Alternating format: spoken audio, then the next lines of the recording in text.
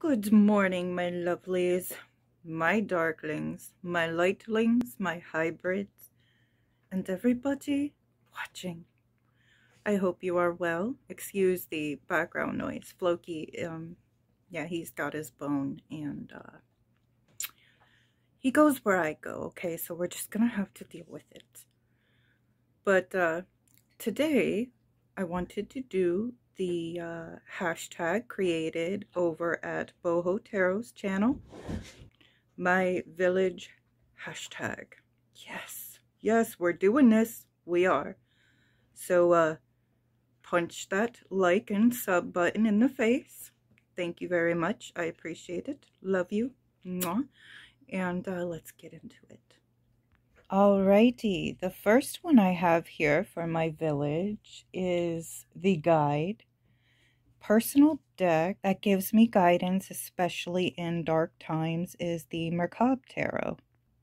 Some may view this as like a dark deck only, but I see it dark and light, a polarity within the cards, and I feel like I can go to this deck with anything, especially self-reflection or reflection of a situation or if I need guidance, whether that be for daily life or on my path and practice.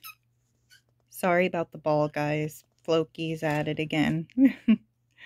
but, yes, this would definitely be my village guide.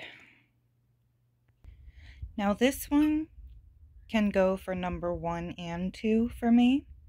The Starseed Oracle caregiver for a very good reason, I think. I happen to believe that we all have ancestors who are higher dimensional, interdimensional beings, or also known as extraterrestrials. I also feel like our ancestors who pass away can become guides. So merging number one with number two, I feel like those who I knew as my caregivers, who are now on the other side, can become other beings or ethereal guides on that realm. They definitely speak to me through these cards. Beautiful thing. I definitely admire this deck for that connection. Beautiful for creative purposes, not only with hobbies and things I love to do, but also on my spiritual path. Let me show you how. Not only is this amazing for inspiration on writing and drawing, which I love to do, and I love fantasy based things or themed things. But for my path, for example, using the cards to like meditate at times because I do believe tarot can also be kind of like portals, um, if you will them to be. And recently I started a draconic path working, working with dragon guides and such. And if I meditate on certain cards pertaining to what I'm doing in my craft, it can help bring me creative inspiration. Um, I'm also looking into a lot of ancient rituals, like based on uh, shape shifting magic and lycanthropy. Um, also, I know the rituals of the berserkers are quite famous, but I'm interested in that part of magic and want to look more into it in the future. So I'll definitely be using these uh, for creative inspiration or muse. um, I do like Fey work as well. And I just believe that these cards can create a lot of that for me, even if I get stumped or kind of stagnant on my path. There's always ideas in here. Reminds me of Odin. For the counselor, the Family Support deck. Well, I chose this Oracle deck because literally my sons and I use it. But really, when my sons have a question, uh, which I absolutely love, they always come to me and they're like, Mom, read for me, please. And they'll pick a deck out of all of them. And I tell them to feel which one, you know, kind of pulls them for the questions that they have and uh, appropriate for the type of reading they want. But this Oracle deck is kind of always my go-to if they have like one or two questions and just want general advice. I definitely love the priestesses of this deck. I wanted to show you the priestesses first and then like some of the other like key advice in this deck. I just think they're beautiful. I know they're based on a book series. However, this deck has proven to be quite useful for spiritual purposes and messages. But they have small little keywords and the photos are kind of self-explanatory. And I read intuitively with this, not so much as with the book but it's proved to be very useful for my family and I and for counsel purposes.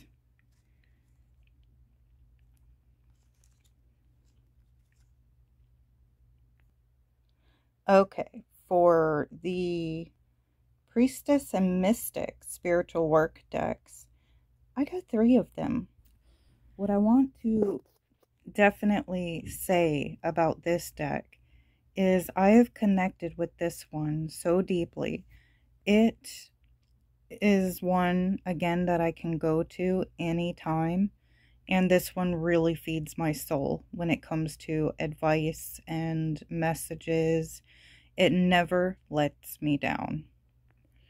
I have used the sigil to connect with these beings, and uh, I feel that may help the uh, connection I have with this deck and the work I do with it. But, I mean, I have not really heard, I'm sure there are people out there who don't like it, but I haven't heard one person so far who has it and isn't satisfied with it. I mean, look at that. No matter what I am going through, this deck always reflects the situation back to me and with great advice or guidance.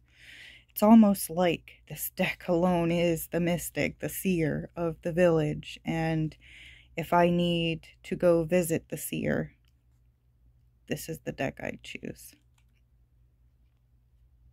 Most definitely. Next, we have the runes, of course. Um, I am getting more and more into rune reading, and this deck really helps with that as well. Um, I do love this deck, and I find it just as well as reading runes. It's like reading them, but with tarot, and that's like two birds with one stone and quite awesome. Next, I absolutely love astrology. This deck um, is probably my newest. Uh, Rochelle helped me and gifted me this deck. Um, kind of learning a lot off her about true sidereal astrology. Very deep into Western, um, which I tend to use you know, I go back and forth between like the systems. I use what I learned in Western and incorporate it into the true sidereal, and it hasn't failed me. But while on the journey of learning, because I know basically everything else, but now the sextiles, asteroids, and uh, the deeper aspects of astrology is what I am moving forward with on my astrology journey and spiritual path. And these cards are perfect for it. Not really so much as like for reading, but it helps me read my chart. For the Elder, the Sage Advice deck. I chose the Night Sun Tarot, which I adore this deck. But, uh, this is my go-to, uh, for the no lies, give it to me hard type of deal. I'm sure we've all been there. We're like, we need a little bit of truth. And this deck just helps me see that more, I think, in the symbology of the art in the cards. It's a gorgeous deck. Very, very symbolic, I feel. And for someone like me who takes the meanings into account, yet does predominantly read intuitively with the meanings in mind, uh, this is perfect for me because I like to have a lot of imagery and a lot to go on with what I feel while interpreting. For the teacher of the village, my study deck, I chose the Thoth Tarot. Uh, Rochelle and I have been studying it, and I have learned so much through this and Crowley's work.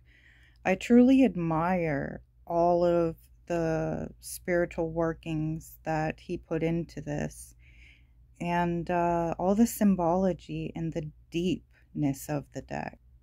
One could say that the artwork isn't, you know, that spectacular.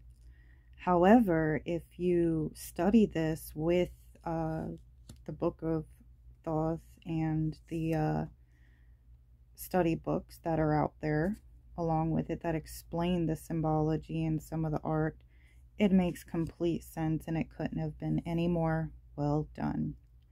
I learned so much about tarot and the Thoth system, and I prefer when I am reading with the meanings to go by the ones I had learned from this system. It is very occulty. It is very esoteric. My outsider deck, unfortunately, my guy here, my Cthulhu deck, um, I am a huge Lovecraft fan, and I do adore this deck. It just really doesn't fit in with my others much outside of kind of being dark themed. And uh, I use it for different purposes than the usual. This is my deck I go to when I just want to have fun and read. Not for any specific purpose, but when the will or want hits me. I do love this deck. It is amazing. I do love the art. I love everything about it. I'll have to watch this back. Was that an orb that just went through the camera? Oh well. For the stranger, the new one in town, the Tarot of the vampires. Yes, this would be my newest, and it is Thoth-based, an amazing deck. And even though it is a stranger and new to my village, I think it will be well acquainted and well accepted in my village. Um, I absolutely love this one as well. Everything about it is amazing. I mean, the art. Of course, I love vampires and vampire themed things. I mean, look at that. It's gorgeous you know, if you're, uh, if you're like me around my age and can remember back when Hot Topic was awesome and not so mainstream, uh, you remember those journals or calendars with similar artwork of like the dark vampires, like, uh, kind of like this you would see on journal covers, their calendars and pens and other things they had. I used to go in there every weekend to buy a new one because I loved the art so much. So having a tarot deck that's kind of similar and reflects it is amazing. And I love the fact it's Thoth-based. All right, my lovelies, thank you for coming by and watching this. Much love to you all.